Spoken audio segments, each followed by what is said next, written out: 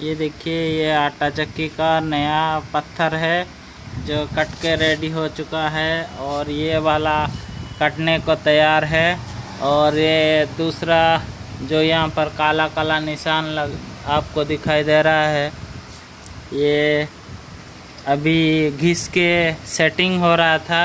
इसके वजह से ये आपको काला काला जो निशान नज़र आ रहा है, ये अभी ग्राइंडर से कटर होगा। कटर होने के बाद ये जो आपको काला काला न, न दिखाई दे रहा है इस तरह से ग्राइंडर में कटिंग कटिंग होने के बाद आपको इस तरह से दिखेगा जो देखिए ये फिनिशिंग हो चुका है इस तरह इस तरह का था और इस तरह से हो जाएगा। बहुत ही अच्छी तरीक़ा से ग्राइंडिंग हो जाएगा ये आपको दिख रहा है। और यहाँ पर ग्राइंडिंग नहीं हुआ है ये आप देख पा रहे हैं। अच्छी तरीक़ा से ग्राइंडिंग हो जाने के बाद आपको इस तरह से लुक आएगा, ये आप देख पाएँगे।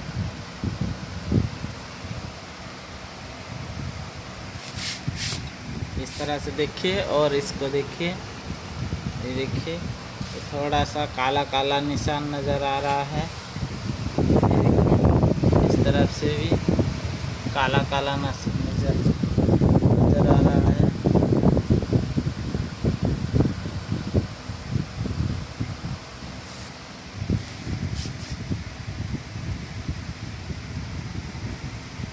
दोनों तरफ़ से। ये कट के तैयार है और ये अभी काटा जाएगा कटर मशीन से।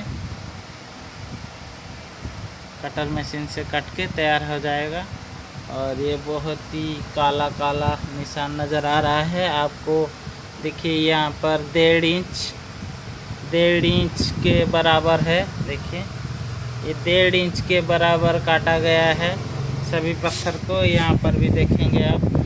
ये डेढ़ इंच ही हो रहा है। ये देखिए, ये डेढ़ इंच, ये इसका भी देखिए डेढ़ इंच, इसका भी देखिए डेढ़ इंच। ये डेढ़ डेढ़ इंच करके काटा गया है और यहाँ पर देखिए थोड़ा सा ढलान है। यहाँ पर आप देख पाएँगे, ये ऊपर ये ऊपर का हिस्सा बहुत ही ऊपर है और ये देखिए बहुत ही नीचा है, ढलान है इस तरह से। आपको हर बार इस तरह से काटना है, जबकि देख पाएँगे आप यहाँ पर देख पा रहे हैं, यहाँ पर ढलान है और इस तरफ़ से ऊंचाई है, बहुत ऊँचा है, यहाँ पर ढलान करने से आपका बहुत ही बारीक आटा निकलता है और यहाँ पर जितना आप खाई रखेंगे डेढ़ इंच के आसपास और यहाँ पर थोड़ा सा खाई रखेंगे इस तरफ़ से और यहाँ पर आप देख पाएँगे, इस तरफ़ से भी कोने के तरफ़ भी आपको काटना है और इस तरफ़ से भी गहराई करके काटना है, तभी आपका अच्छा आटा निकलेगा, बहुत ही बारीक आटा निकलेगा। आपको बीट करना है, ये देखिए कितने बीट है इसमें। एक, दो, तीन, चार, पाँच, छः, सात, आठ, नौ, दस, ग्यारह, बारह बारह बीट हैं। एक, दो, तीन, चार, पाँच, छः, सात, आठ, नौ, दस, ग्यारह, बारह ठो बीट पूरे बारह ठो और इसमें भी आप देख पाएँगे पूरे बारह ठो बीट है। आपको बारह बीट करके काटना है।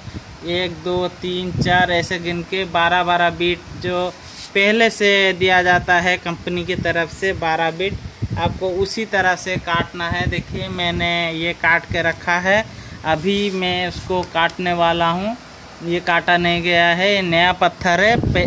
एक बार सेटिंग होने के बाद इसको खोल के हम अभी देख रहे हैं किस तरफ़ से ये जो आपको निशान नज़र आ रहा है, ये काला काला, ये घिस के तो काला पड़ गया है।